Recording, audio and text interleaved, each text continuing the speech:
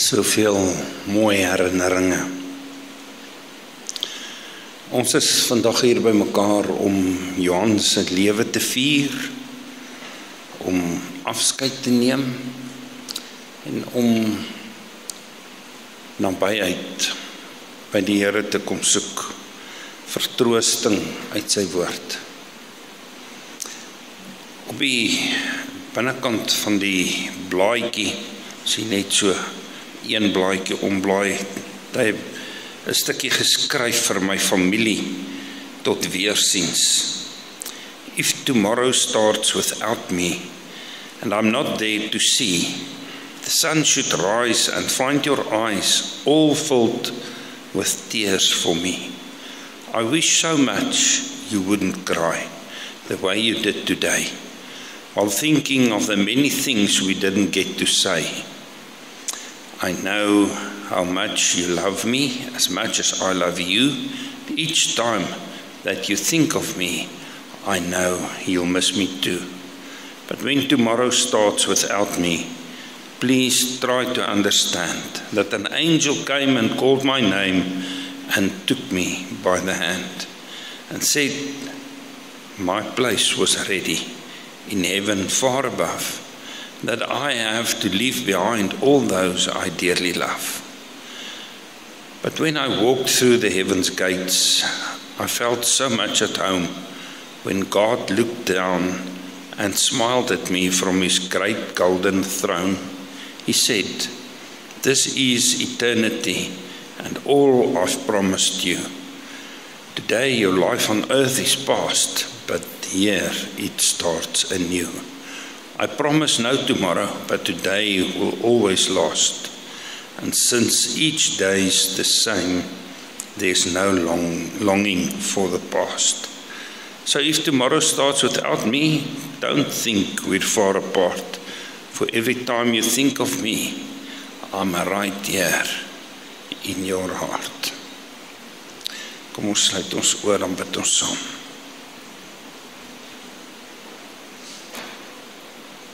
Heilige Here, ons staan vandag opnuut weer gekonfronteer met die met die realiteit dat ons lewe hier maar net tydelik is. Elkeen van ons se lewe. En so het die tyd aangebreek dat Johan oor die drempel moes stap die ewigheid in en hy's weg hier van ons af. Hy sy plek hier is leeg. Waar al waar sy geliefdes rondkyk is sy plek leeg. Maar dankie vir die mooi herinneringe. Dankie dat ons soveel mooi herinneringe kan hê. Hierdie fotos kan kyk net die vertroosting in onsself kan vind dat daar soveel mooi is. Here, dankie. Dankie vir iemand soos hy wat so verskil in soveel mense se lewens kon maak. Nou kom ons rondom u woord en ons kom vra dat u vir ons sal bemoedig, dat u ons sal versterk, sal vertroos. Here, by u alleen kan ons vertroosting vind. Kom in hierdie oomblikke kom omvou ons vir Denise, kinders almal soos net u kan in Jesus se naam. Amen.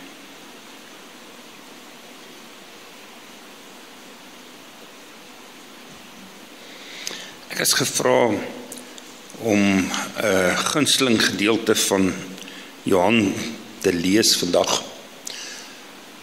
Jesaja 41 vers 13. Ek gaan vers 10 ook lees. Vers 10 sê moenie bang wees nie want ek is by jou. Moenie vrees nie want ek is jou God. Ek versterk jou Ook help ek en ondersteun ek jou met my seëvierende regterhand. Want ek, die Here jou God, gryp jou regterhand vas. Ek wat vir jou sê, moenie bang wees nie. Ek is die een wat jou help.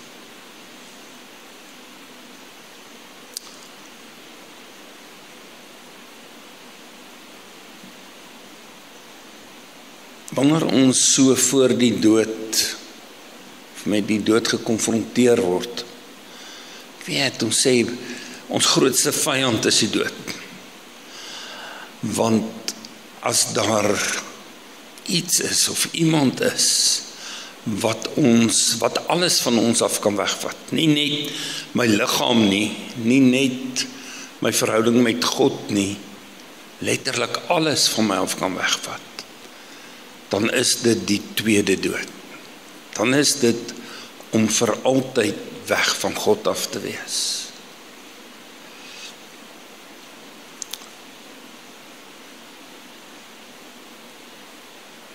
Elkeen van ons is van die dag wat ons gebore word besig om te groei en besig om nader te kom aan daardie dag waar alles hierdie kant beëindig word. En dit het mense al verskriklik baie laat skryf, laat nadink, baie preke oor gepreek. Elkeen van ons gaan eendag doodgaan. Tensy Jesus kom, tensy die wederkoms plaasvind, sal elkeen van ons doodgaan. So elkeen van ons word op 'n stadium gekonfronteer met wat gaan nou gebeur. Dis die groot onbekende. Wat gebeur aan die ander kant?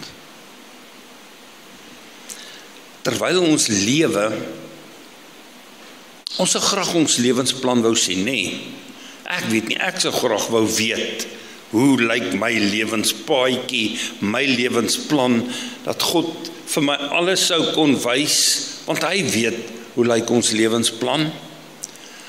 En dat ons presies weet wanneer daai dag gaan wees, wat die omstandighede gaan wees, wat gaan dit vooraf gaan en alles. Want dan kan ek bietjie iets daarin verander ook, nê. Nee. Ons sou graag wou bietjie dit aanpas, dit bietjie anders wil laat verloop maar ons weet nie. God alleen weet. En dit is waarom hierdie teksvers so verskriklik baie beteken. Moenie bang wees nie, want ek is by jou. God wat daardie lewensplan ken. Hy wat presies weet wat gaan gebeur, hoe dit gaan gebeur. Hy wat in staat is om my by te staan op 'n manier waarop ek nie myself sou kon help nie. Hy is by my. Dit is nou besig om Kersfees te vier. Die oomblik in die mensgeskiedenis waar God kom mens word het waar hy kom Immanuel word het. God met ons Immanuel. Waar hy vir ons kom wys het hy is met ons. Ek luister na iemand wat op 'n stadium sê daar's nie in die geskiedenis eers enige verhaal van 'n God wat soveel vir die mens gedoen het nie. Dat God homself van sy hemelse heerlikheid ontledig dat hy kom mens word het 'n babietjie homself kom broodstel het dat hy opgegroei het as mens dat hy kom dien het as mens dat hy kom ly het dat hy kom sterf het ter wille van ons ter wille van oomblikke soos hierdie dat wanneer ons huil ons nie huil soos mense wat nie hoop het nie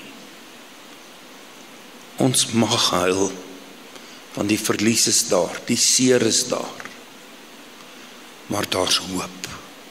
Want God sê ek is by jou.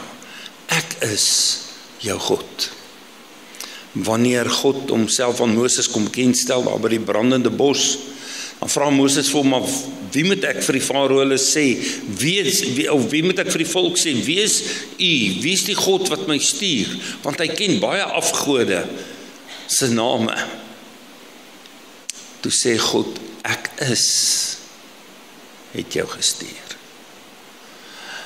Daardie God se benaming is nie net 'n gewone naam nie Hy is die ewige. En nou kom ons by in vroeë jare het ons in die teologie baie keer hierdie woorde gebruik. Deesdae hoor ons dit so min. Hy is die allerheiligste. Hy is die ewige God. Hy is die gans andere. Daar's niemand soos hy nie.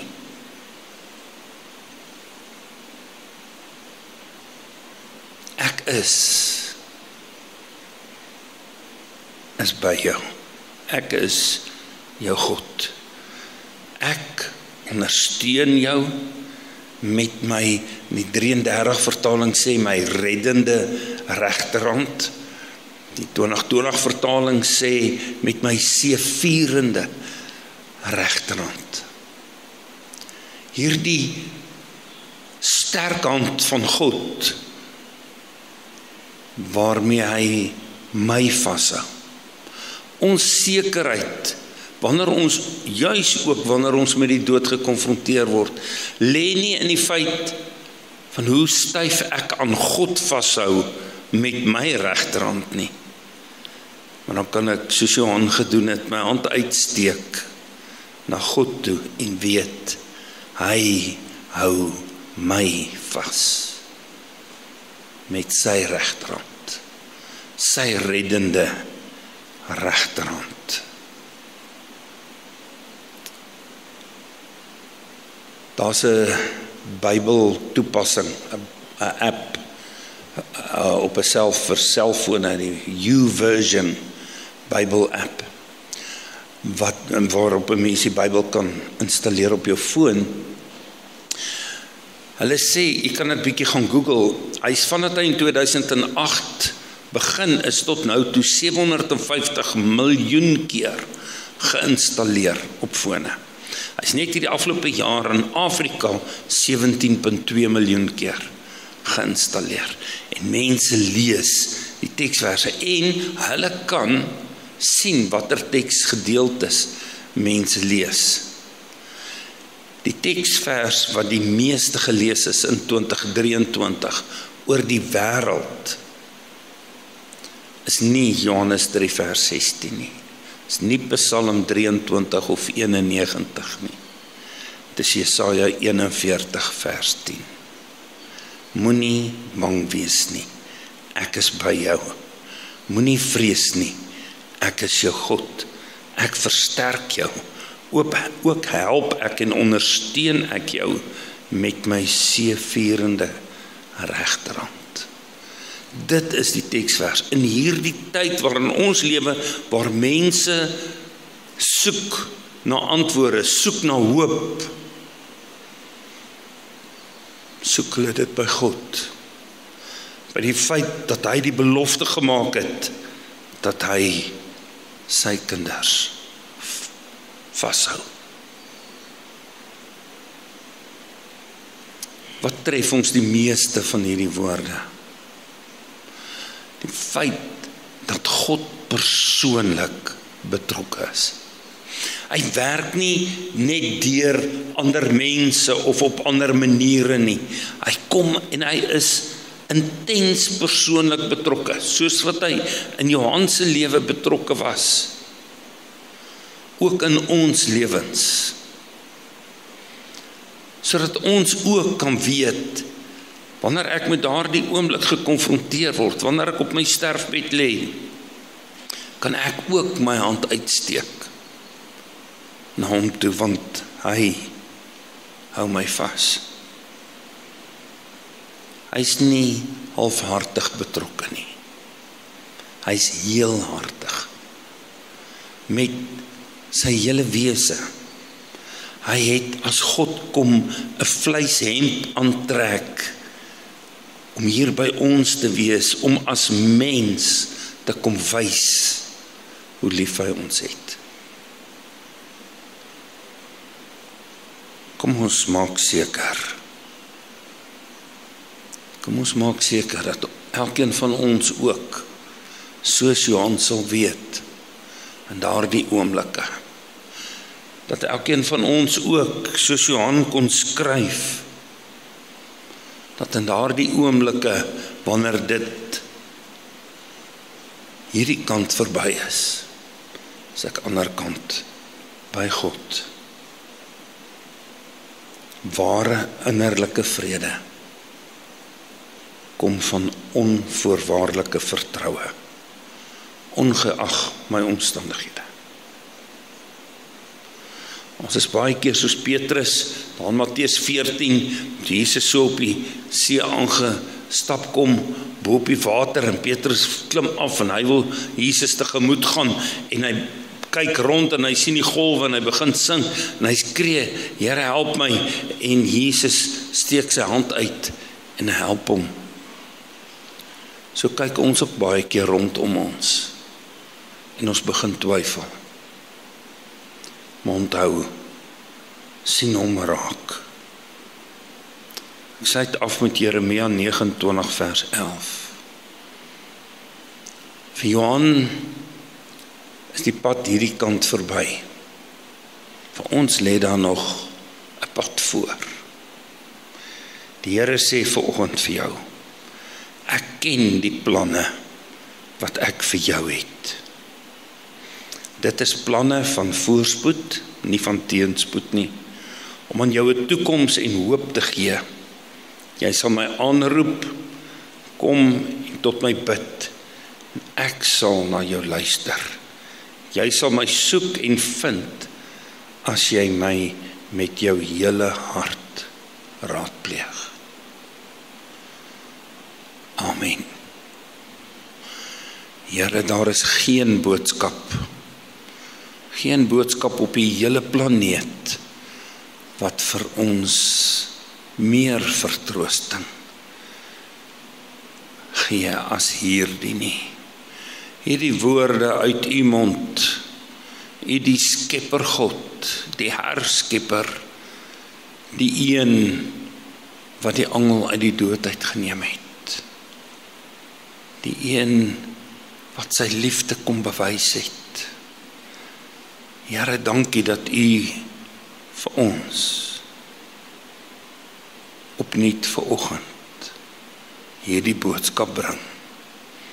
Dankie dat ons daaraan kan vashou soos Johan daaraan vasgehou het.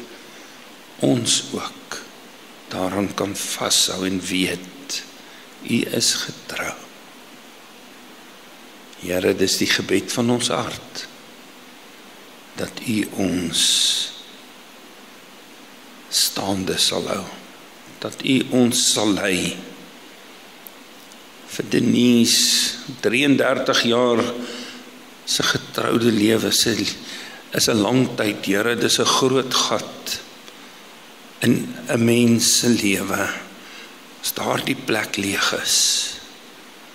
Ons wil bid dat u haar sal omvou sal vashou die seer sal sagter maak vir haar die mooi herinneringe sal helder hou in haar gedagtes dat hy haar sal mooi oomblikke gee saam met haar familie om saam met haar die pad verder te stap. So ook elkeen van ons. Ons bid dit in Jesus se naam Amen. Kom ons staan en dan sluit ons met die ons Vader lied af. Hy sal hier op die bord wees.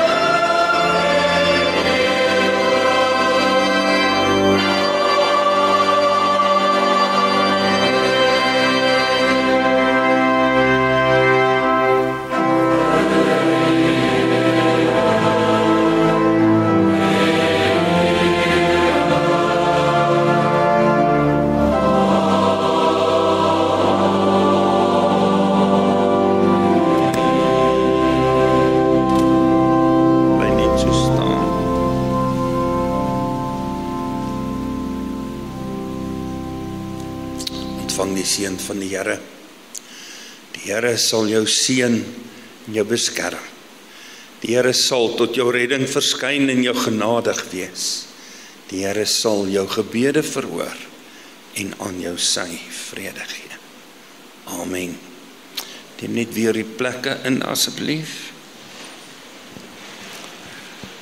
Ek vra vir teens om die bedankings te kom doen. Goeiemôre familie en vriende. Ek het weer die groot werk gekry. Maar ons doen dit want die Vader het vir ons die krag en genade gegee om sulke goed ook te kan doen tot sy eer. Ek gaan net vir julle aflees wat hulle vir my gesê het want uh, julle ken vir Denise. As hier iets uitgelos word, uh, dan ek moeilikheid en ek ken my skoonsister baie goed en ek soek nie daai moeilikheid nie. Uh dankie aan pastoor Pelse. Dominee Pelser vir die waarneming van die diens en die beskikbaarheid van die kerk. Dankie aan Gail Simon van Kansa, Kersenin vir die daaglikse besoeke en omgee vir Johan, as ook Connie die versorger sy uitstekende diens en omgee. Dankie aan Teens en Sandra met die bystand van die reëlings by die begrafnisondernemers as ook ondersteuning. Dankie aan Johan en Joey vir die bydrae met Johan se versorging. Dankie aan Joey vir die hulp met die reëlings. Dankie aan die kinders met die hulp van die verversings. En dan baie dankie aan Denise dat jy so mooi na Johan gekyk het en altyd die ekstra myl gegaan het. Ons waardeer dit so baie. Dankie vir julle almal se teenwoordigheid en omgee. Reis veilig terug. Baie dankie.